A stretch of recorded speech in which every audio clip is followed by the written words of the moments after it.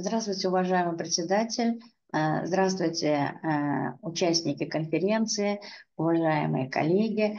Э, разрешите представиться. Я из Республики Узбекистан, работаю в Ташкентской медицинской академии, заведую кафедрой эпидемиологии. Сначала разрешите поблагодарить вас за возможность участия в конференции с, с нашим докладом. Если вы разрешите, я все-таки э, выйду из э, видео, потому что э, интернет очень слабый. Э, уважаемые участники, разрешите представить нашу презентацию «Эпидемиологическая характеристика и профилактика ВИЧ-инфекции в Республике Узбекистан». ВИЧ-инфекция является одной из наиболее актуальных проблем современной медицины и имеет социально-медицинское и демографическое значение. Ни для кого не секрет, что СПИД, то есть заболевание, вызываемое вирусом иммунодефицита человека, сегодня стал важной проблемой для всех стран.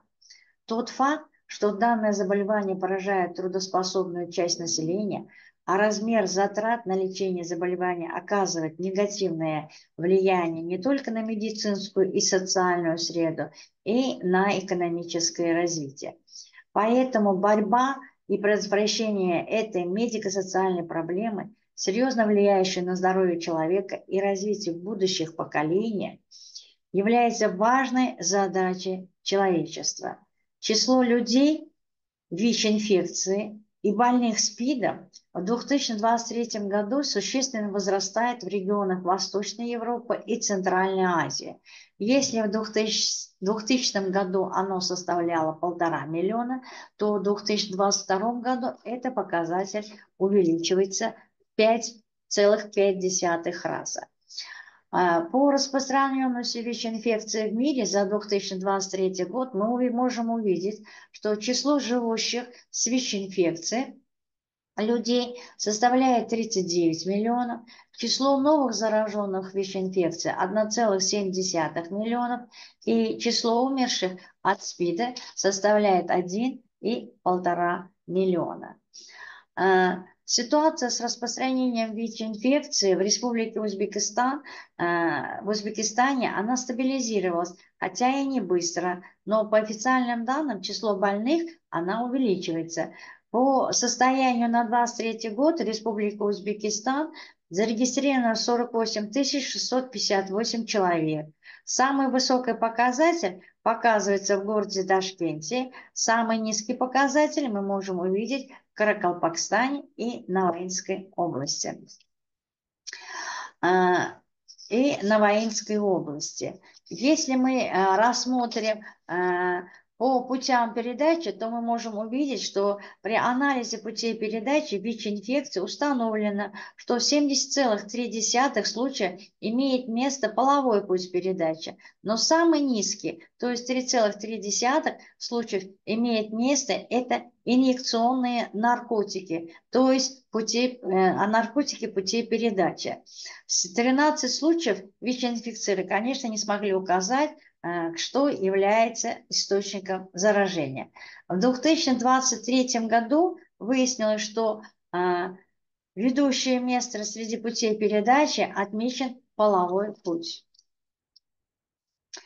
При сравнительном анализе по полу мы увидели ВИЧ-инфицированных, что в 2023 году в Республике Узбекистан превалируют мужчины, где составляет почти 55%. Анализ ВИЧ-инфицированных в Республике Узбекистан по возрасту. Здесь показано, что 30-39 лет и 40-49 лет чаще всего болеют в этом возрасте в 2023 году и 2022 году. Динамика распространенности ВИЧ-инфекции среди групп высокого риска заражения мы могли здесь увидеть, что на сегодняшний день у нас превалируется это а, потребители инъекционных наркотиков и, конечно же, это а, мужчины, занимающиеся сексом с мужчинами. То есть из всего этого мы можем сделать вывод, что в многолетней динамике заболевания э, за 12 лет отмечено снижение числа ВИЧ-инфицированных. Если в 2011 году интенсивный показатель заболеваемости в республике составляет 11,8, как в городе в Ташкенте 30,6, э, то в 2023 году интенсивный показатель составит 8,8, и в городе Ташкенте мы видим снижение 18,5. В 2023 году ведущее место среди путей передачи занял половой путь от общего количества инфицированных. При сравнительном анализе ВИЧ-инфицированных по полу за 2023 год установлено, что среди мужчин э, ВИЧ-инфицированных регистрируется почти 55%, а 46% э, ВИЧ-случаев составляет инфицированные среди женщин. При анализе возрастным категориям установлено, что наибольшее количество приходится на самый трудоспособный возраст. Инфицированных э, чаще регистрируется 30-39 лет, а затем идет возрастной категории 40-49 лет. Выявление ВИЧ среди возрастных группах – связано с тем, что пациенты в возрасте старше 30-36 лет чаще общая, обращаются за плановой медицинской помощью, при которой обычно проводятся скрининговые исследования. Согласно данным официальной статистики, ВИЧ именно средняя возрастная группа является группой риска.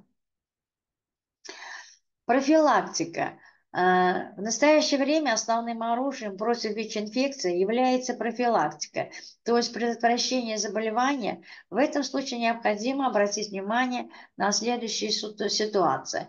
Это повышение осведомленности населения о ВИЧ-инфекции и ее профилактике, о снижении риска заражения ВИЧ среди потребителей наркотиков, ранняя диагностика и э, своевременное профилактическое лечение – обязательное и регулярное тестирование донорской крови на ВИЧ-инфекцию, профилактика передачи ВИЧ-инфекции от матери к ребенку, то есть это кесарево искусственное вскармливание может быть, профилактика профессиональной передачи ВИЧ-инфекции во время лечения.